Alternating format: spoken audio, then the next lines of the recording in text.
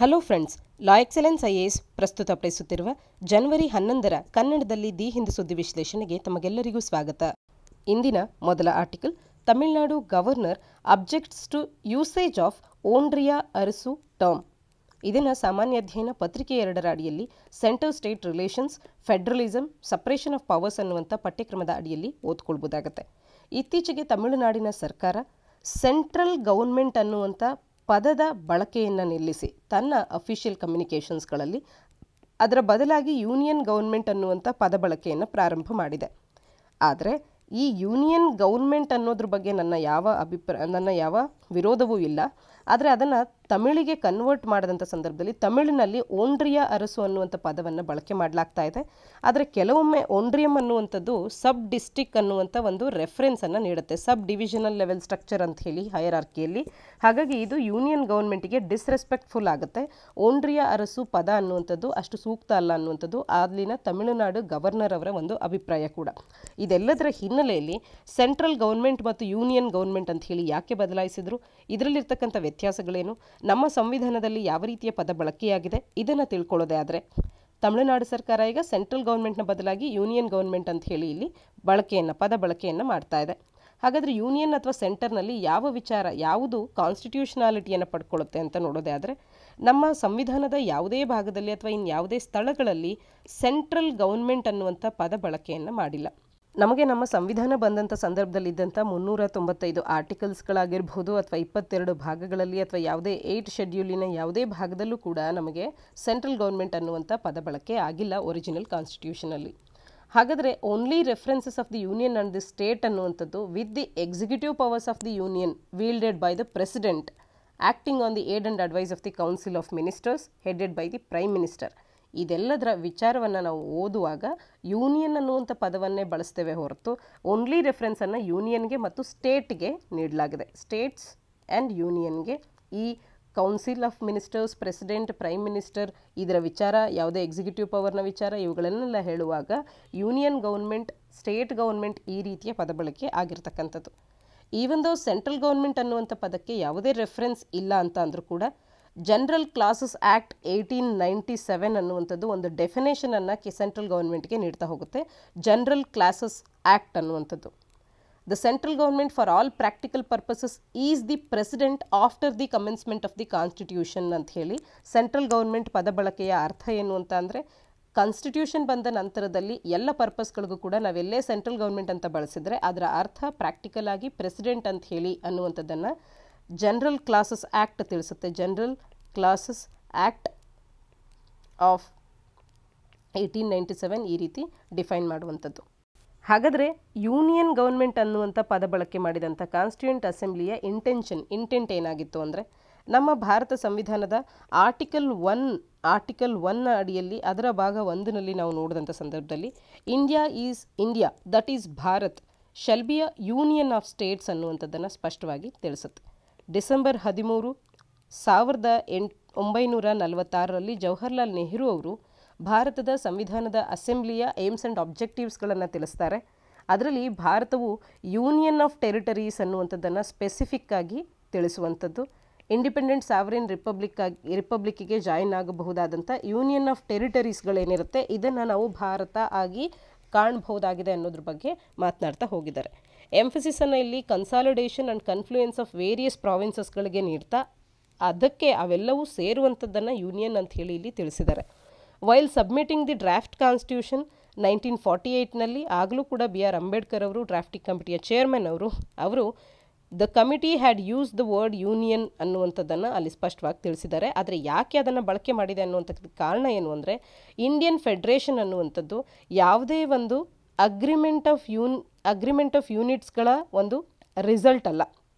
Indian federation was not the result of an agreement by units ಹಾಗೆಯೇ the component units ಏನಿದೆ Indian ಫೆಡರೇಷನ್ನ ಒಳಗೆ, ಅವುಗಳಿಗೆ ಈ ಫೆಡ್ರೇಷನಿಂದ ಸಿಸೀಡ್ ಆಗುವಂಥ ಒಂದು ಪವರ್ ಅಥವಾ ಫ್ರೀಡಮ್ ಅನ್ನುವಂಥದ್ದು ಇಲ್ಲ. ಈ ಎರಡು ಕಾರಣಕ್ಕೆ ಇದು ಅಗ್ರಿಮೆಂಟು ಅಲ್ಲ ಮತ್ತು ಸಿಸೀಡ್ ಆಗುವಂಥ ಪವರೂ ಅಲ್ಲ. ಹಾಗಾಗಿ ಇದು ಒಂದು ಯೂನಿಯನ್ ಅನ್ನುವಂಥ ಪದವನ್ನು ಬಳಸಿದ್ದೇವೆ ಅಂತ ಹೇಳಿ ತಿಳಿಸ್ತಾರೆ. Members of the constituent assembly ಕೂಡ ವೆರಿ ಕಾಶಿಯಸ್ ಆಗಿದ್ರು ಸೆಂಟರ್ ಅಥವಾ ಸೆಂಟ್ರಲ್ ಗೌರ್ಮೆಂಟ್ ಅನ್ನುವಂಥ ಪದ ಬಳಕೆಯನ್ನು ಸಂವಿಧಾನದಲ್ಲಿ ತಂದಿಲ್ಲ. ಯಾಕೆ ಅಂತ ಅಂದರೆ ಪವರ್ಸ್ಗಳನ್ನು ಸೆಂಟ್ರಲೈಸ್ ಮಾಡುವಂಥದ್ದು ಒಂದು ಯೂನಿಟ್ನಲ್ಲಿ ಅವರ ಉದ್ದೇಶ ಆಗಿರಲಿಲ್ಲ. ಆ ಟೆಂಡೆನ್ಸಿಯನ್ನು ತಡೆಯೋದಕ್ಕೆ ಅಂತ ಹೇಳಿ ಅವರು ಕೂಡ ಸೆಂಟ್ರಲ್ ಗೌರ್ಮೆಂಟ್ ಅನ್ನುವಂಥ ಪದ ಬಳಕೆಯನ್ನು ಮಾಡಿಲ್ಲ. ಹಾಗಾದರೆ ಕೇಂದ್ರ ಮತ್ತು ಯೂನಿಯನ್ ಮತ್ತು ಸೆಂಟರ್ ಅನ್ನುವಂಥ ಪದಗಳ ನಡುವೆ ಇರತಕ್ಕಂಥ ವ್ಯತ್ಯಾಸವನ್ನು ನೋಡೋದೇ ಆದರೆ ಕಾನ್ಸ್ಟಿಟ್ಯೂಷನ್ ಎಕ್ಸ್ಪರ್ಟ್ ಸುಭಾಷ್ ಕಶ್ಯಪ್ ಅವರ ಪ್ರಕಾರ point of usage of the ವರ್ಡ್ಸ್ಗಳನ್ನು ನೋಡಿದ್ರೆ ಸೆಂಟರ್ ಅನ್ನುವಂಥದ್ದು ಮಿಡ್ಲ್ ಆಫ್ ಅ ಸರ್ಕಲನ್ನು ಇಂಡಿಕೇಟ್ ಮಾಡುತ್ತೆ ವೆರಾಸ್ ಯೂನಿಯನ್ ಅನ್ನುವಂಥದ್ದು ಹೋಲ್ ಆಫ್ ಅ ಸರ್ಕಲನ್ನು ಒಂದು ಸರ್ಕಲಿನ ಮಧ್ಯಭಾಗವನ್ನು ಸೆಂಟರ್ ಅಂತ ಹೇಳಿ ನಾವು ಇಂಡಿಕೇಟ್ ಮಾಡೋದಾದರೆ ಹೋಲ್ ಆಫ್ ಅ ಸರ್ಕಲನ್ನು ನಾವು ಯೂನಿಯನ್ ಅಂತ ಹೇಳಿ ಕರಿಬಹುದು. ಇಂಡಿಯಾದಲ್ಲಿ relationship between the so called centre and states ಅನ್ನುವಂಥದ್ದು ಆ್ಯಸ್ ಪರ್ ದಿ ಕಾನ್ಸ್ಟಿಟ್ಯೂಷನ್ ನಾವು ನೋಡಿದ್ರೆ it is between whole and its parts ಹಾಗಾಗಿ ಯೂನಿಯನ್ ಪದ ಬಳಕೆ ಅನ್ನುವಂಥದ್ದು ಸೂಕ್ತ ಆಗುತ್ತೆ. Both the union and the states are created by the constitution ಎರಡೂ ಕೂಡ ರೆಸ್ಪೆಕ್ಟಿವ್ ಅಥಾರಿಟಿಯನ್ನು ನಮ್ಮ ಸಂವಿಧಾನದಿಂದನೇ ಪಡ್ಕೊಳ್ತವೆ. ಯಾವುದೂ ಕೂಡ ಮತ್ತೊಂದಕ್ಕೆ ಸಬಾರ್ಡಿನೇಟ್ ಅಲ್ಲ. ಎರಡಕ್ಕೂ ಕೂಡ ತನ್ನದೇ ಆದಂಥ ಒಂದು ಅಥಾರಿಟಿ ಇದೆ, ಅವರದ್ದೇ ಆದಂಥ ಒಂದು ಫೀಲ್ಡ್ನಲ್ಲಿ ಮತ್ತು ಒಂದಕ್ಕೊಂದು ಕೋಆರ್ಡಿನೇಟ್ ಮಾಡ್ಕೊಳ್ತಾ ಕಾರ್ಯ ಮಾಡಬೇಕಾಗತ್ತೆ. ಎರಡರದ್ದು ಕೂಡ ಸೋಲ್ ಪವರ್ ಅನ್ನುವಂಥದ್ದು ಕಾನ್ಸ್ಟಿಟ್ಯೂಷನಲ್ಲಿದೆ ಇಲ್ಲಿಂದ ಪವರ್ಸ್ಗಳನ್ನು ಡಿರೈವ್ ಮಾಡ್ಕೊಂಡಿದ್ದಾವೆ ಎರಡು ಕೂಡ ಒಂದಕ್ಕೊಂದು ಸಬಾರ್ಡಿನೇಟ್ ಅಲ್ಲ ಸಪ್ರೇಟ್ ಯೂನಿಟ್ಸ್ಗಳಾಗುತ್ತೆ ಈ ಕಾರಣಕ್ಕೆ ಯೂನಿಯನ್ ಅಂತ ಹೇಳಬಹುದು ಸ್ಟೇಟ್ಸ್ ಅಂತ ಹೇಳ್ಬೋದು ಸೆಂಟರ್ ಅಂತ ಹೇಳಿ ಹೇಳುವಂಥದ್ದು ಸರಿ ಆಗದೇ ಇರಬಹುದು. ಹೆಚ್ಚು ಸೂಕ್ತ ಆಗುತ್ತೆ ಯೂನಿಯನ್ ಅಂತ ಹೇಳಿ ತಿಳಿಸುವಂಥದ್ದು. ಇನ್ನು ಸುಪ್ರೀಂ ಕೋರ್ಟನ್ನು ಕೂಡ ನಮ್ಮ ಸಂವಿಧಾನದಲ್ಲಿ ಮೆನ್ಷನ್ ಮಾಡಲಾಗಿದೆ. ಜುಡಿಷಿಯರಿಯನ್ನು ಯಾಕೆ ಸಂವಿಧಾನದಲ್ಲಿ ಡಿಸೈನ್ ಮಾಡಲಾಗಿದೆ ಅಂತ ಅಂದರೆ ಹೈಕೋರ್ಟ್ಸ್ಗಳಾಗಿರ್ಬೋದು ಇನ್ಯಾವುದೇ ಸಬಾರ್ಡಿನೇಟ್ ಕೋರ್ಟ್ಸ್ಗಳಾಗಿರ್ಬೋದು ಸುಪ್ರೀಂ ಕೋರ್ಟಿನ ಸುಪ್ರೀಂ ಕೋರ್ಟಿಗೆ ಇದರ ಅಪಿಲೇಟ್ ಜುರಿಸ್ಡಿಕ್ಷನ್ ಇದ್ದರೂ ಕೂಡ ಇವ್ಯಾವುದು ಸುಪ್ರೀಂ ಕೋರ್ಟಿನ ಸೂಪರ್ ಇಂಟೆಂಡೆನ್ಸ್ನ ಅಡಿಯಲ್ಲಿ ಅಥವಾ ಸುಪ್ರೀಂ ಕೋರ್ಟ್ ಹೈಕೋರ್ಟಿನ ಮೇಲೆ ಹೆಚ್ಚಿನ ಒಂದು ಪ್ರಾಮುಖ್ಯತೆಯನ್ನು ಸೂಪರ್ ಇಂಟೆಂಡೆನ್ಸನ್ನು ಅಟಾನಮಿಯನ್ನು ಹೈಕೋರ್ಟ್ನ ಮೇಲೆ ಹೊಂದಿದೆ ಅನ್ನುವಂಥ ಯಾವುದೇ ಅರ್ಥ ಬರದೇ ಇರಲಿ ಅನ್ನುವಂಥ ಕಾರಣಕ್ಕೇ ನಮ್ಮ ಕಾನ್ಸ್ಟಿಟ್ಯೂಷನ್ ಅನ್ನುವಂಥದ್ದು ಜುಡಿಷಿಯರಿಯನ್ನು ಕೂಡ ಸಂವಿಧಾನದಲ್ಲಿ ಡಿಸೈನ್ ಮಾಡಿದೆ.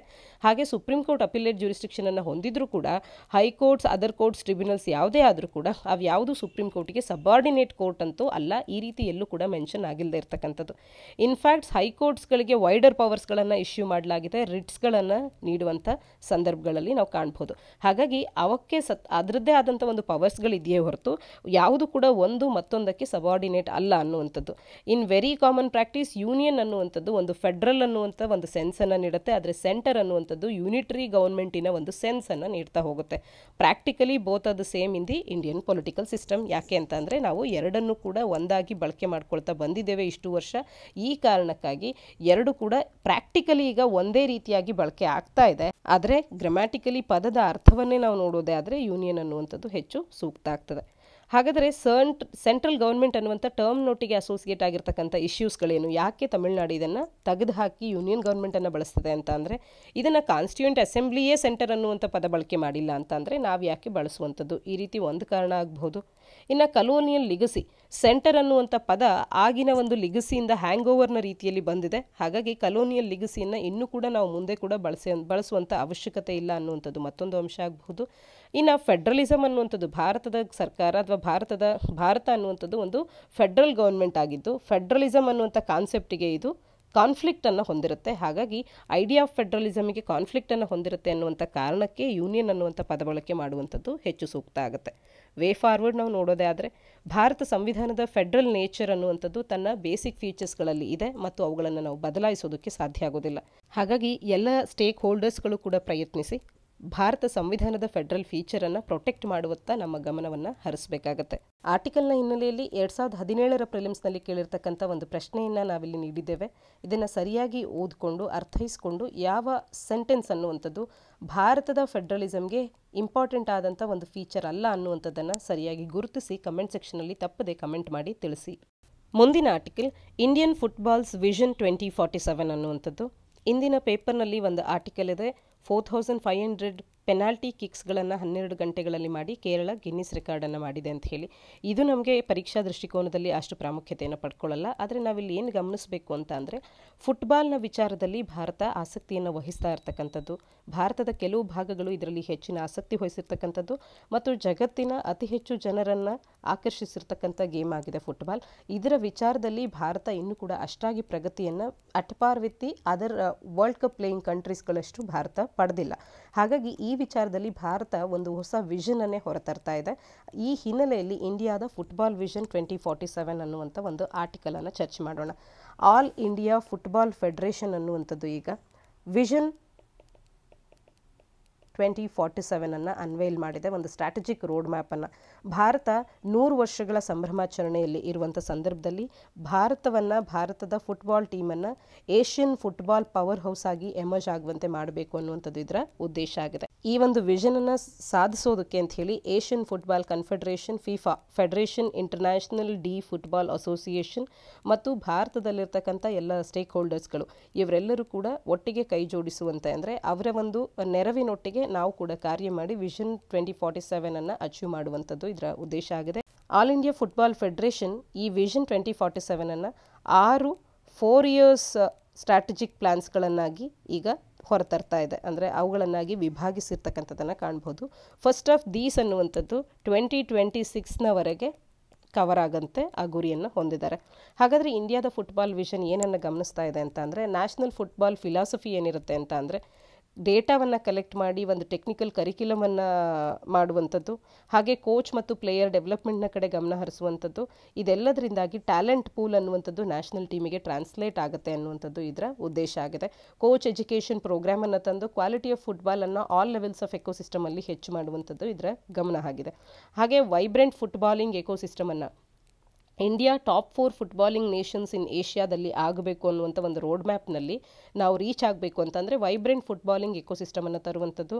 ಹಾಗೆಯೇ ಒನ್ ಆಫ್ ದಿ ಟಾಪ್ ಲೀಗ್ಸನ್ನು ಏಷ್ಯಾದಲ್ಲೇ ಇವರು ಹೋಸ್ಟ್ ಮಾಡುವಂತೆ ಭಾರತವನ್ನು ನಾವು ಸನ್ನದ್ದು ಮಾಡಬೇಕು ಅನ್ನುವಂಥದ್ದು. ವೈಬ್ರೆಂಟ್ ಫುಟ್ಬಾಲಿಂಗ್ ಎಕೋಸಿಸ್ಟಮನ್ನು ಕ್ರಿಯೇಟ್ ಮಾಡಬೇಕು ಅನ್ನುವಂಥದ್ದು. ಇದರಲ್ಲಿರ್ತಕ್ಕಂಥ ಮತ್ತೊಂದು ಅಂಶ. ವಿಲೇಜ್ ಗ್ರಾಸ್ ರೂಟ್ಸ್ ಪ್ರೋಗ್ರಾಮ್ನ ಮುಖಾಂತರವಾಗಿ ವಿಲೇಜಸ್ನಲ್ಲಿರ್ತಕ್ಕಂಥ ಟ್ಯಾಲೆಂಟ್ನ ಕಡೆ ಗಮನ ಹರಿಸಬೇಕು ಅನ್ನುವಂಥದ್ದು. ಹಾಗೆಯೇ enhancement of women participation. Women's football ಕೂಡ ಎರಡು ಇಪ್ಪತ್ತಾರರ ವೇಳೆಗೆ four level league table pyramid ಅನ್ನುವಂಥದ್ದು ಕ್ರಿಯೇಟ್ ಆಗಬೇಕು. ಅಲ್ಲಿ ಕೂಡ ಟಾಪ್ ಆಫ್ ದಿ ಪಿರಮಿಡನ್ನು ಇಂಡಿಯನ್ ವುಮೆನ್ಸ್ ಲೀಗ್ ಯಾರು ಟೆನ್ ಟೀಮ್ಸ್ ಫೀಚರ್ ಇದು ಟೆನ್ ಟೀಮ್ಸ್ಗಳನ್ನು ಫೀಚರ್ ಮಾಡುತ್ತೆ. ಅದಾದ ನಂತರ ಸೆಕೆಂಡ್ ಡಿವಿಷನ್ನಲ್ಲಿ ಏಯ್ಟ್ ಟೀಮ್ಸ್ಗಳನ್ನು ಹೊಂದುವಂಥದ್ದು. ಈ ರೀತಿ ಇಪ್ಪತ್ತು ಸ್ಟೇಟ್ಗಳನ್ನು ಈಗ all India football federation target ಮಾಡಿದೆ. ಎರಡು ಸಾವಿರದ ಇಪ್ಪತ್ತೇಳರ ವೇಳೆಗೆ ನ್ಯೂ ವುಮೆನ್ಸ್ ಯೂತ್ ಸ್ಟ್ರಕ್ಚರನ್ನು ಇಂಪ್ಲಿಮೆಂಟ್ ಮಾಡಲಿಕ್ಕೆ ಅಂತ ಹೇಳಿ. ಹಾಗೆ ಇನ್ಫ್ರಾಸ್ಟ್ರಕ್ಚರನ್ನು ಡೆವಲಪ್ ಮಾಡೋದ್ರ ಕಡೆ ಗಮನ ಹರಿಸಿದೆ. ಹಾಗಾದರೆ ಸದ್ಯಕ್ಕೆ ಭಾರತದಲ್ಲಿ ಫುಟ್ಬಾಲ್ನ ಯಾವ ರೀತಿ ಸಿನಾರಿಯೋ ಇದೆ ಅಂತ ನೋಡೋದೇ ಆದರೆ ಫುಟ್ಬಾಲ್ ಇನ್ ಇಂಡಿಯಾ ಅನ್ನುವಂಥದ್ದು ಇನ್ನೂ ಕೂಡ ಡೆವಲಪಿಂಗ್ ಸ್ಟೇಜ್ನಲ್ಲಿ ಇದ್ದು ಸೆಕೆಂಡ್ ಮೋಸ್ಟ್ ಪಾಪ್ಯುಲಸ್ ಕಂಟ್ರಿ ಆಗಿದೆ ವರ್ಲ್ಡ್ನಲ್ಲಿ. ಹಾಗಿದ್ದು ಕೂಡ ಫುಟ್ಬಾಲ್ ಅನ್ನುವಂಥದ್ದು ಭಾರತದಲ್ಲಿ ಕ್ರಿಕೆಟ್ನಷ್ಟು ಪಾಪ್ಯುಲರ್ ಆಗಿಲ್ಲದೆ ಇರತಕ್ಕಂಥದ್ದು. ಚಾಲೆಂಜಸ್ ಏನಿದೆ ಅಂತ ಅಂದರೆ ಲ್ಯಾಕ್ ಆಫ್ ಇನ್ವೆಸ್ಟ್ಮೆಂಟ್ ಮತ್ತು ಇನ್ಫ್ರಾಸ್ಟ್ರಕ್ಚರ್ನ ಕೊರತೆ ಇದೆ. ಕೋ ಟ್ರೈನ್ಡ್ ಕೋಚಸ್ ಮತ್ತು ಟ್ರೈನರ್ಸ್ಗಳ ಶಾರ್ಟೇಜ್ ಕೂಡ ನಮ್ಮಲ್ಲಿ ಇರತಕ್ಕಂಥದ್ದು. ಆದರೆ ಪೊಟೆನ್ಷಿಯಲ್ನ ವಿಚಾರಕ್ಕೆ ಬಂದರೆ ಇಂಡಿಯನ್ ನ್ಯಾಷನಲ್ ಟೀಮ್ ಅನ್ನುವಂಥದ್ದು ಫೀಫಾ ರ್ಯಾಂಕಿಂಗ್ನಲ್ಲಿ ಸ್ವಲ್ಪ ಇಂಪ್ರೂವನ್ನು ಈಗ ಮಾಡ್ಕೊಂಡಿರ್ತಕ್ಕಂಥದ್ದನ್ನು ಕಾಣ್ಬೋದು. ಸಮ್ ಸಕ್ಸಸ್ಫುಲ್ ಇಂಡಿಯನ್ ಪ್ಲೇಯರ್ಸ್ಗಳು ಕೂಡ ಓವರ್ಸೀಸ್ ಲೀಗ್ಸ್ಗಳಲ್ಲಿ ಆಟ ಆಡ್ತಿರ್ತಕ್ಕಂಥದ್ದು. ಈ ಹಿನ್ನೆಲೆಯಲ್ಲಿ ಈ ಒಂದು ಸ್ಥಿತಿಗತಿಯಲ್ಲಿ ಇವತ್ತು ಭಾರತದ ಫುಟ್ಬಾಲ್ ಇದೆ. ಆದರೆ ಇದನ್ನು ಟ್ವೆಂಟಿ ಫಾರ್ಟಿ ಸೆವೆನಿನ ವಿಷನ್ನ ಮುಖಾಂತರ ಭಾರತ ಸೆಂಟನರಿಯನ್ನು ಆಚರಿಸುವಂಥ ಸಂದರ್ಭದಲ್ಲಿ ಏಷ್ಯಾದ one of the top most football playing ಟೀಮನ್ನಾಗಿ ಮಾಡಬೇಕು, ಭಾರತದ ಫುಟ್ಬಾಲನ್ನು ಅಂತ ಹೇಳಿ ಅನ್ನುವಂಥದ್ದು ಈ ಒಂದು ವಿಷನಿನ ಉದ್ದೇಶ ಆಗಿದೆ. ಇತ್ತೀಚೆಗೆ ಸ್ಪೋರ್ಟ್ಸ್ ಬೇಸ್ಡ್ ಕ್ವೆಶನ್ಸ್ಗಳ ಕಡೆ ಕಡೆ ಕೂಡ ಹೆಚ್ಚು ಗಮನವನ್ನು ಹರಿಸಲಾಗ್ತಾ ಇದೆ ಪ್ರಿಲಿಮ್ಸ್ ಪಾಯಿಂಟ್ ಆಫ್ ವ್ಯೂನಲ್ಲಿ ಮತ್ತು ಕೆ ಪಿ ಎಸ್ ಸಿ ಯಾವುದೇ ಪರೀಕ್ಷೆಗಳಲ್ಲಿ. ಮತ್ತು ಫುಟ್ಬಾಲ್ ಅನ್ನುವಂಥದ್ದು ವರ್ಲ್ಡ್ನಲ್ಲಿ ಒಂದು ಪಾಪ್ಯುಲರ್ಸ್ ಮತ್ತು ಫೇಮಸ್ ಗೇಮ್ ಆಗಿರುವಂಥ ಹಿನ್ನೆಲೆಯಲ್ಲಿ ಫುಟ್ಬಾಲ್ನ ಕುರಿತಂತೆ ಅದು ಟ್ವೆಂಟಿ ಫಾರ್ಟಿ ಸೆವೆನ್ವರೆಗೂ ಕೂಡ ನಾವು ಹೊಂದಿರತಕ್ಕಂಥ ವಿಷನ್ನಿಗೆ ಕನೆಕ್ಟ್ ಮಾಡುವಂತೆ ಯಾವುದಾದ್ರು ಸ್ಟೇಟ್ಮೆಂಟ್ ಬೇಸ್ಡ್ ಆದಂಥ ಕ್ವೆಶನ್ಸ್ ಅಥವಾ ಸ್ಟೇಟ್ಮೆಂಟ್ಸ್ಗಳು ಬರಬಹುದು. ಹಾಗಾಗಿ ಈ ಒಂದು ಆರ್ಟಿಕಲನ್ನು ಚರ್ಚೆ ಮಾಡಿದಂಥದ್ದು. ಮುಂದಿನ article the stalemate between Telangana and Andhra Pradesh ಸಾಮಾನ್ಯ ಅಧ್ಯಯನ ಪತ್ರಿಕೆ ಎರಡರ ಅಡಿಯಲ್ಲಿ ಇಂಟರ್ಸ್ಟೇಟ್ ರಿಲೇಷನ್ಸ್ ಟ್ರಿಬ್ಯುನಲ್ಸ್ ಅನ್ನುವಂಥ ಪಠ್ಯಕ್ರಮದ ಅಡಿಯಲ್ಲಿ ಓದ್ಕೊಳ್ಬೋದಾಗತ್ತೆ. ಇತ್ತೀಚೆಗೆ ಆಂಧ್ರ ಪ್ರದೇಶವು ಸುಪ್ರೀಂ ಕೋರ್ಟನ್ನು ಕೇಳ್ತಾ ಇದೆ. ಜಸ್ಟ್ ರೀಸನಬಲ್ ಮತ್ತು ಈಕ್ವಿಟಬಲ್ ಆಗಿ ಅಸೆಟ್ಸ್ ಆ್ಯಂಡ್ ಲಯಬಿಲಿಟೀಸ್ಗಳ ಅಪೋರ್ಷನ್ಮೆಂಟ್ ಆಗಬೇಕು ಅನ್ನುವಂಥದ್ರ ಬಗ್ಗೆ Andhra Pradesh reorganisation act two thousand ಫೋರ್ಟೀನ್ನ ಅಡಿಯಲ್ಲಿ. ಹಾಗಾಗಿ ಇದರ ಒಂದಷ್ಟು ಬ್ಯಾಕ್ಗ್ರೌಂಡನ್ನು ತಿಳ್ಕೊಳ್ಳೋದೇ ಆದರೆ ಎರಡು ಸಾವಿರದ ಹದಿನಾಲ್ಕರ ಜೂನ್ ಎರಡರಂದು ಆಂಧ್ರ ಪ್ರದೇಶ್ ಅನ್ನುವಂಥ ಒಂದು ರಾಜ್ಯವನ್ನು ಇಬ್ಬಾಗವನ್ನಾಗಿ ಮಾಡಲಾಯಿತು. ಆಂಧ್ರ ಪ್ರದೇಶ್ ಮತ್ತು ತೆಲಂಗಾಣ ಅಂತ ಹೇಳಿ ತೆಲಂಗಾಣ ಇಪ್ಪತ್ತೊಂಬತ್ತನೇ ರಾಜ್ಯವಾಗಿ ಹೊರಹೊಮ್ಮಿತು state reorganisation act nineteen fifty ಸಿಕ್ಸ್ನಲ್ಲಿ Telugu speaking areas of ಹೈದರಾಬಾದನ್ನು ಆಂಧ್ರ ಸ್ಟೇಟ್ನೊಟ್ಟಿಗೆ ಮರ್ಜ್ ಮಾಡಲಾಗಿತ್ತು. ಒಂದು ಎನ್ಲಾರ್ಜ್ಡ್ ಆಂಧ್ರ ಪ್ರದೇಶ್ ಸ್ಟೇಟ್ ಅನ್ನುವಂಥದ್ದು ಇದರಿಂದ ಫಾರ್ಮ್ ಆಗಿತ್ತು. ಆದರೆ ಎರಡು ಸಾವಿರದ ಹದಿನಾಲ್ಕರ ಆಂಧ್ರ ಪ್ರದೇಶ್ ರಿಆರ್ಗನೈಸೇಷನ್ ಆ್ಯಕ್ಟ್ ಅನ್ನುವಂಥದ್ದು ಆಂಧ್ರ ಪ್ರದೇಶವನ್ನು ಎರಡು ಸಪ್ರೇಟ್ ಸ್ಟೇಟ್ಸ್ಗಳನ್ನಾಗಿ ಬೈಹರ್ ಬೈಫರ್ಕೇಟ್ ಮಾಡಿದೆ ಆಂಧ್ರ ಪ್ರದೇಶ್ ಮತ್ತು ತೆಲಂಗಾಣ ಅಂತ ಹೇಳಿ. ಹಾಗಾದರೆ ಎರಡು ರಾಜ್ಯಗಳ ನಡುವೆ ಇರ್ತಕ್ಕಂಥ ಇಶ್ಯೂಸ್ ಏನು ಅಂತ ಹೇಳಿ ತಿಳ್ಕೊಳ್ಳೋದೇ ಆದರೆ ಟ್ವೆಲ್ ಇನ್ಸ್ಟಿಟ್ಯೂಷನ್ಸ್ಗಳನ್ನು ಈ ಆ್ಯಕ್ಟ್ನ ಅಡಿಯಲ್ಲಿ ಮೆನ್ಷನ್ ಮಾಡಿಲ್ಲದೆ ಇರತಕ್ಕಂಥದ್ದು ಇಲ್ಲಿರ್ತಕ್ಕಂಥ ಒಂದು ಸಮಸ್ಯೆ ಆಗ್ತಾ ಇದೆ. ಈ ಇಶ್ಯೂ ಅನ್ನುವಂಥದ್ದು ಇನ್ನೂರ ನಲವತ್ತೈದು ಇನ್ಸ್ಟಿಟ್ಯೂಷನ್ಸ್ಗಳನ್ನು ಇನ್ವಾಲ್ವ್ ಮಾಡ್ಕೊಂಡಿದೆ. Total fixed asset value one point four two lakh ಕ್ರೋರ್ನಷ್ಟು ಇರ್ತಕ್ಕಂಥದ್ದು. ನೈಂಟಿ ಒನ್ ಇನ್ಸ್ಟಿಟ್ಯೂಷನ್ಸ್ಗಳನ್ನು ಶೆಡ್ಯೂಲ್ ನೈನ್ ನ ಅಡಿಯಲ್ಲಿ ಇರ್ತಕ್ಕಂಥದ್ದು. ಒನ್ ಫಾರ್ಟಿ ಟು ಇನ್ಸ್ಟಿಟ್ಯೂಷನ್ಸ್ಗಳು ಶೆಡ್ಯೂಲ್ ಟೆನ್ ಆಫ್ ದಿ ಆ್ಯಕ್ಟ್ನ ಅಡಿಯಲ್ಲಿ ನಾವು ಕಾಣ್ಬೋದು. ಡಿವಿಷನ್ ಆಫ್ ಅನದರ್ ಟ್ವೆಲ್ ಇನ್ಸ್ಟಿಟ್ಯೂಷನ್ಸನ್ನು ಈ ಆ್ಯಕ್ಟ್ನಲ್ಲಿ ಮೆನ್ಷನ್ ಮಾಡಿಲ್ಲ. ಹಾಗಾಗಿ ಇದು ರಾಜ್ಯಗಳ ನಡುವೆ ಕಂಟೆನ್ಷಿಯಸ್ ಆಗ್ತಾ ಇದೆ. ತೆಲಂಗಾಣ ಮತ್ತು ಆಂಧ್ರ ಪ್ರದೇಶದ ನಡುವೆ ಇಶ್ಯೂ ಆಗಿ ಬರ್ತಾ ಇದೆ. ಡಿವಿಷನ್ ಆಫ್ ಅಸೆಟ್ಸ್ ಮತ್ತು ಲಯಬಿಲಿಟೀಸ್ಗಳ ವಿಚಾರದಲ್ಲಿ ಡಿಲೇ ಆಗ್ತಿರ್ತಕ್ಕಂಥದ್ದು ಮತ್ತೊಂದು ಸಮಸ್ಯೆ ಆಗ್ತಾ ಇದೆ. ಇನ್ನು ಡಿವಿಷನ್ ಆಫ್ ಅಸೆಟ್ಸ್ಗಳ ವಿಚಾರದಲ್ಲಿ ಕಂಟೆನ್ಷನ್ ಅನ್ನುವಂಥದ್ದು ನಡೀತಾ ಇದೆ. ಎಕ್ಸ್ಪರ್ಟ್ಸ್ ಕಮಿಟಿ ರೆಕಮೆಂಡೇಷನ್ಸ್ ಅನ್ನುವಂಥದ್ದು ಡಿವಿಷನ್ ಆಫ್ ಅಸೆಟ್ಸ್ಗಳ ವಿಚಾರದಲ್ಲಿ ಏನು ತಿಳಿಸ್ತಾ ಇದೆ. ಇದು head ಕ್ವಾರ್ಟರಿನ assets attracted criticism from the Telangana government ಏನಿದೆ, ಇದರ ಭಾಗ ಆಗಿಲ್ಲ. ಹಾಗಾಗಿ ಸ್ಪಿರಿಟ್ ಆಫ್ ರಿಆರ್ಗನೈಸೇಷನ್ ಆ್ಯಕ್ಟಿನ ವಿರುದ್ಧವಾಗಿ ಇದು ಇದೆ ಅಂತ ಹೇಳಿ ಇಲ್ಲಿ ಮತ್ತೊಂದು ಸಮಸ್ಯೆ ಆಗ್ತಾ ಇದೆ. ಈ ಡಿಸ್ಪ್ಯೂಟ್ಸ್ಗಳನ್ನು ರೆಸಾಲ್ವ್ ಮಾಡಲಿಕ್ಕೆ ಏನು ಮಾಡಬಹುದು ಅಂತಂದರೆ, ಈ ರೆಸ್ಪಾನ್ಸಿಬಿಲಿಟೀಸ್ಗಳನ್ನು ಇಂಟರ್ಸ್ಟೇಟ್ ಕೌನ್ಸಿಲ್ಗೆ ನೀಡಲಾಗಿದೆ ಕಾನ್ಸ್ಟಿಟ್ಯೂಷನ್ನ ಮುಖಾಂತರವಾಗಿ. ಹಾಗಾಗಿ ಅವರು, ಅವರ ಮುಖಾಂತರವಾಗಿ ಇದು ನಡಿಬೇಕು. ಸಿಮಿಲರ್ಲಿ ಝೋನಲ್ ಕೌನ್ಸಿಲ್ಸ್ಗಳು ಕೂಡ ರಿವೈಸ್ ಆಗಿ ಈ ರೀತಿಯ ಮ್ಯಾಟರ್ಸ್ಗಳನ್ನು ಡಿಸ್ಕಸ್ ಮಾಡಬೇಕಾಗತ್ತೆ. ಇಂಡಿಯಾ ಅನ್ನುವಂಥದ್ದು ಯುನಿಟಿ ಇನ್ ಡೈವರ್ಸಿಟಿಗೆ ಒಂದು ಎಪಿಟೋಮ್ ಆಗಿ ಇರ್ತಕ್ಕಂಥದ್ದು. ಹಾಗಾಗಿ ಫರ್ದರ್ ಯುನಿಟಿಯನ್ನು ಸ್ಟ್ರೆಂಥನ್ ಮಾಡಬೇಕು ಅಂತ ಅಂದರೆ ಬೋತ್ ಕೇಂದ್ರ ಮತ್ತು ರಾಜ್ಯ ಸರ್ಕಾರಗಳು ಕೋಆಪರೇಟಿವ್ ಫೆಡರಲಿಸಮಿನ ಎಥೋಸ್ಗಳನ್ನು ಇಂಬೈಬ್ ಮಾಡಿಕೊಳ್ಳುವಂಥ ಅವಶ್ಯಕತೆ ಇದೆ. ಹಾಗಾಗಿ ಇಶ್ಯೂ ದೊಡ್ಡದಾಗುವಂತೆ ಮಾಡುವ ಬದಲಾಗಿ ಈ ಎಥೋಸ್ಗಳನ್ನು ನಾವು ಇಂಬೈಬ್ ಮಾಡಿಕೊಂಡು ಕೋಆಪರೇಟಿವ್ ಫೆಡರಲಿಸಮನ್ನು ಇನ್ನಷ್ಟು ಸಕ್ಸಸ್ಫುಲ್ ಆಗಿ ಮಾಡಬೇಕಾಗುತ್ತೆ. ಮುಂದಿನ article, study sheds light on how blackbuck survive challenges ಅನ್ನುವಂಥದ್ದು ಸಾಮಾನ್ಯ ಅಧ್ಯಯನ ಪತ್ರಿಕೆ ಮೂರರ ಅಡಿಯಲ್ಲಿ ಕನ್ಸರ್ವೇಷನ್ ಅನ್ನುವಂಥ ಪಠ್ಯಕ್ರಮದ ಅಡಿಯಲ್ಲಿ ಹಾಗೆಯೇ ಪ್ರಿಲಿಮ್ಸ್ಗೆ ಪೂರಕವಾಗುವಂಥ ಒಂದು ಆರ್ಟಿಕಲ್ ಆಗುತ್ತೆ. ಒಂದು ಹೊಸ ಅಧ್ಯಯನ ಅಧ್ಯಯನವನ್ನು ಇಂಡಿಯನ್ ಇನ್ಸ್ಟಿಟ್ಯೂಟ್ ಆಫ್ ಸೈನ್ಸ್ನವರು ಮಾಡಿರ್ತಕ್ಕಂಥದ್ದು. ಭಾರತದಲ್ಲಿ ಬ್ಲ್ಯಾಕ್ ಬಕ್ಸ್ ಅನ್ನುವಂಥದ್ದು ವೆಲ್ ಆಗಿ ಈ ಒಂದು ನ್ಯಾಚುರಲ್ ಮತ್ತು ಹ್ಯೂಮನ್ ಇಂಡ್ಯೂಸ್ಡ್ ಚಾಲೆಂಜಸ್ಗಳಿಗೆ ಅಡ್ಯಾಪ್ಟ್ ಮಾಡಿಕೊಂಡು ಅವರ ಅವುಗಳ ಸರ್ವೈವಲನ್ನು ನೋಡ್ತಾ ಇದೆ ಕಾಣ್ತಾ ಇದೆ ಅನ್ನುವಂಥದ್ದು. ಮತ್ತು in spite of immense losses ಅನ್ನುವಂಥದ್ದು ಗ್ರಾಸ್ಲ್ಯಾಂಡ್ ಹ್ಯಾಬಿಟೇಟ್ಸ್ಗಳಲ್ಲಿ ಅಕ್ರಾಸ್ ದಿ ಇಂಡಿಯಾ ಆಗಿದ್ದರೂ ಕೂಡ ಬ್ಲ್ಯಾಕ್ ಪಕ್ ಪಾಪ್ಯುಲೇಷನಿನ ಇನ್ಕ್ರೀಸ್ ಅಲ್ಲ ಇನ್ಕ್ರೀಸ್ ಆಗಿರೋದನ್ನು ನಾವು ಕಾಣ್ಬೋದು ಅನ್ನುವಂಥದ್ದನ್ನು ರೀಸೆಂಟ್ ಪಾಸ್ಟ್ಗೆ ಕಂಪೇರ್ ಮಾಡಿದ್ರೆ ಬೆಟರ್ ಇನ್ಕ್ರೀಸನ್ನು ನಾವು ಕಾಣ್ತಿದ್ದೇವೆ ಅನ್ನುವಂಥದ್ದನ್ನು ಈ ಒಂದು ಟ್ರೆಂಡ್ ತಿಳಿಸ್ತಾ ಇದೆ. ಹಾಗಾದರೆ ಬ್ಲ್ಯಾಕ್ ಬಗ್ಸ್ನ ಕುರಿತಂತೆ ಒಂದಷ್ಟು ಮಾಹಿತಿಯನ್ನು ತಿಳ್ಕೊಳ್ಳೋದೇ ಆದರೆ ಬ್ಲ್ಯಾಕ್ ಬಗ್ಸ್ ಅಥವಾ ಆ್ಯಂಟಿಲೋಪ್ ಸರ್ವಿ ಕ್ಯಾಪ್ರಾ ಅಂತ ಹೇಳಿ ಇದನ್ನು ಕರಿತೇವೆ ಅಥವಾ ಇಂಡಿಯನ್ ಆ್ಯಂಟಿಲೋಪ್ ಅಂತ ಕೂಡ ಕರೆಯುವಂಥದ್ದು. ಈ ಒಂದು ಆ್ಯಂಟಿಲೋಪ್ ಅನ್ನುವಂಥದ್ದು ಭಾರತ ಮತ್ತು ನೇಪಾಳಿಗೆ ನೇಟಿವ್ ಆಗಿರತಕ್ಕಂಥ ಒಂದು ಆ್ಯಂಟಿಲೋಪ್ ಆಗಿದೆ. ರಾಜಸ್ಥಾನ್, ಗುಜರಾತ್, ಮಧ್ಯಪ್ರದೇಶ್, ತಮಿಳುನಾಡು ಒಡಿಸಾದಲ್ಲಿ ವೈಡ್ ಸ್ಪ್ರೆಡ್ ಆಗಿರೋದನ್ನು ಕಾಣ್ಬೋದು. ಹಾಗೆಯೇ through out the peninsular India ಕೂಡ ಇದನ್ನು ಬೇರೆ ಬೇರೆ ಭಾಗಗಳಲ್ಲಿ ಕಾಣಬಹುದಾಗುತ್ತೆ ಇದು ಗ್ರಾಸ್ಲ್ಯಾಂಡಿಗೆ ಒಂದು ಎಪಿಟೋಮ್ ಆಗಿ ಕಾಣಿಸ್ಕೊಳ್ಳುವಂಥ ಒಂದು ಸ್ಪೀಸೀಸ್ ಅಂತ ಹೇಳಿ ಕರಿಬಹುದು ಇದನ್ನು ಕ ಎಪಿಟೋಮ್ ಆಫ್ ಗ್ರಾಸ್ಲ್ಯಾಂಡ್ ಅಂತ ಕೂಡ ಕರಿತೇವೆ. ಇನ್ನು ಈ ಒಂದು ಸ್ಪೀಸೀಸ್ ಡೈಯರ್ನಲ್ ಆ್ಯಂಟಿಲೋಪ್ ಆಗಿದ್ದು ಹೆಚ್ಚಿನದಾಗಿ ಡೇ ಟೈಮ್ನಲ್ಲಿ ಆ್ಯಕ್ಟಿವ್ ಆಗಿರುತ್ತೆ. ಇನ್ನು ಇದರ ರೆಕಗ್ನಿಷನನ್ನು ನೋಡೋದೇ ಆದರೆ ಆಂಧ್ರ ಪ್ರದೇಶ್, ಹರಿಯಾಣ ಮತ್ತು ಪಂಜಾಬ್ ಈ ಮೂರೂ ರಾಜ್ಯಗಳಲ್ಲಿ ಯಾವ ರಾಜ್ಯದ ಸ್ಟೇಟ್ ಅಲಿಮಲ್ ಯಾವುದು ಅಥವಾ ಸ್ಟೇಟ್ ಬರ್ಡ್ ಯಾವುದು ಅಥವಾ ಈ ರೀತಿ ವಿಚಾರಗಳು ಬಂದಾಗ ಇಂಥ ಪ್ರಶ್ನೆಗಳನ್ನು ಈಗಾಗಲೇ ಪ್ರಿಲಿಮ್ಸ್ನಲ್ಲಿ ಕೇಳಲಾಗಿದೆ.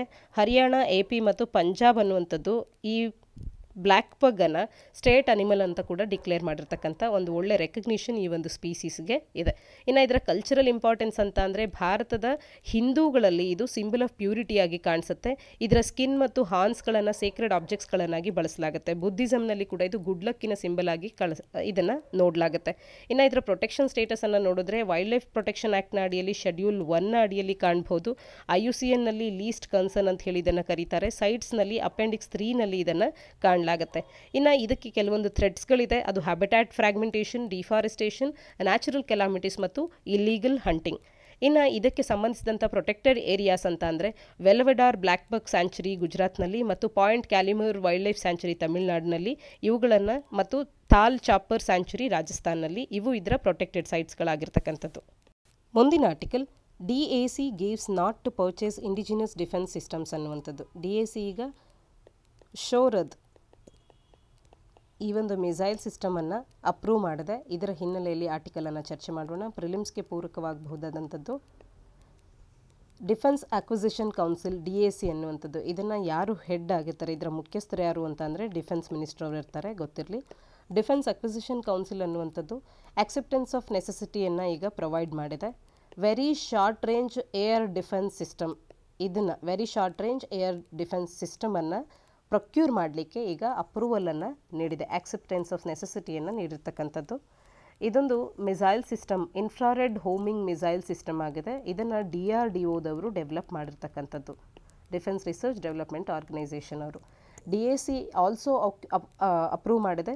ಹೆಲಿನಾ ಆ್ಯಂಟಿ ಟ್ಯಾಂಕ್ ಗೈಡೆಡ್ ಮಿಸೈಲ್ಸ್ಗಳನ್ನು ಪ್ರೊಕ್ಯೂರ್ ಮಾಡೋದಕ್ಕೆ ಮತ್ತು ಲಾಂಚರ್ಸ್ ಆ್ಯಂಡ್ ಸಪೋರ್ಟ್ ಎಕ್ವಿಪ್ಮೆಂಟನ್ನು ಇಂಡಿಜಿನಸ್ ಅಡ್ವಾನ್ಸ್ಡ್ ಲೈಟ್ ಹೆಲಿಕಾಪ್ಟರ್ಸ್ಗಳನ್ನು ಎ ಎಲ್ ಎಚ್ ಅನ್ನು ಆರ್ಮಿಗಾಗಿ ಮತ್ತು BrahMos launcher and fire control ಸಿಸ್ಟಮನ್ನು next generation missile ವೆಸಲ್ಸ್ಗಳಿಗೆ ಮೆಸೈಲ್ಸ್ಗಳನ್ನು ನೇವಿಗಾಗಿ ಅಂತ ಹೇಳಿ ಪ್ರೊಕ್ಯೂರ್ ಮಾಡೋದನ್ನು ಕೂಡ ಅಕ್, ಅಪ್ರೂವ್ ಮಾಡಿರ್ತಕ್ಕಂಥದ್ದು.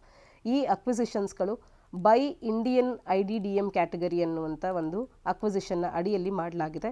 ಹೈಯೆಸ್ಟ್ ಪ್ರಯಾರಿಟಿಯನ್ನು ಡಿ ಎ ಪಿ ಟ್ವೆಂಟಿ ಟ್ವೆಂಟಿಯ ಅಡಿಯಲ್ಲಿ ನೀಡಲಾಗಿರ್ತಕ್ಕಂಥದ್ದು ಪ್ರೊಕ್ಯೂರ್ಮೆಂಟಿಗೆ ಯಾಕೆ ಇಷ್ಟೆಲ್ಲ ಪ್ರೊಕ್ಯೂರ್ಮೆಂಟ್ ಆಗ್ತದೆ ಅಂತ ಅಂದರೆ ಚೈನಾ ಎಲ್ ಎಸ್ ಸಿಯಲ್ಲಿ ಈಗಿನ ಸ್ಥಿತಿಗತಿಗಳನ್ನು ನಾವು ನೋಡೋದೇ ಆದರೆ ಚೈನಾ ಏನಲ್ಲಿ ನಮ್ಮ ವಿರುದ್ಧವಾಗಿ ಮಾಡ್ತಾ ಇರ್ತಕ್ಕಂಥ ಆ್ಯಕ್ಷನ್ಸ್ ಇದೆ. ಇದಕ್ಕಾಗಿ ನಾವು ಈ ಒಂದು ಪ್ರೊಕ್ಯೂರ್ಮೆಂಟ್ಸ್ಗಳನ್ನು ಹೆಚ್ಚು ಮಾಡ್ಕೊಳ್ತಾ ಇದ್ದೇವೆ ಅಡ್ವಾನ್ಸ್ಮೆಂಟನ್ನು ಮಾಡ್ತಾ ಇದ್ದೇವೆ ಡಿಫೆನ್ಸ್ನಲ್ಲಿ ಆರ್ಟಿಕಲ್ನ ಹಿನ್ನೆಲೆಯಲ್ಲಿ very short range air defence ಸಿಸ್ಟಮನ್ನು ಯಾರು ಡೆವಲಪ್ ಮಾಡಿದ್ರು?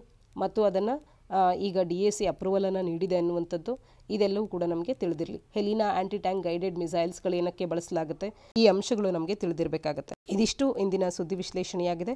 ನಾಳಿನ ಸುದ್ದಿ ವಿಶ್ಲೇಷಣೆಯೊಂದಿಗೆ ಮತ್ತೆ ಸಿಗೋಣ. ಧನ್ಯವಾದ.